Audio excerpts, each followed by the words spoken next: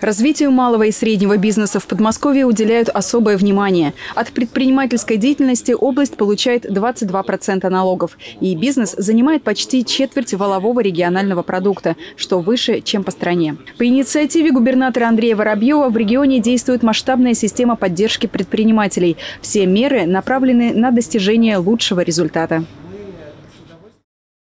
Новые решения по поддержке малого бизнеса – это тема, которой все время нужно уделять особое внимание. В Подмосковье мы стараемся поддерживать предпринимателей, запускаем региональные меры, внедряем современные сервисы. Важно, чтобы удобных сервисов для бизнеса становилось больше.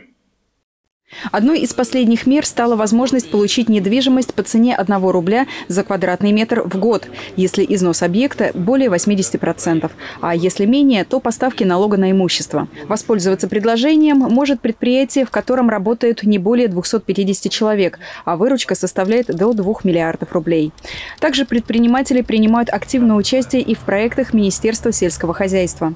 У нас родилась такая идея совместно с бизнесом, с рестораторами а, организовать программу «Завтрак в Подмосковье», которая э, продлился, начался 1 июня и продлится до конца лета. В эту программу вошли порядка 140 ресторанов, и количество объектов все время увеличивается. Местными усилиями министерство и администрация округа сделали брендированное меню и специальные наклейки. Их размещают на дверях заведений участников программы. Дополнительно все объекты отмечены на интерактивной карте портала welcome.mosrec.ru.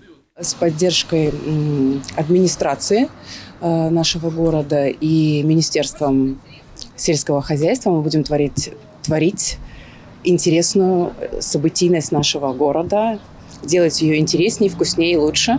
Кстати, для удобства предпринимателей самые востребованные услуги поддержки бизнеса переведены в цифровой формат. Актуальную информацию можно найти на сайте госуслуг и на региональном инвестиционном портале. Елена Краева, телекомпания «Одинцова».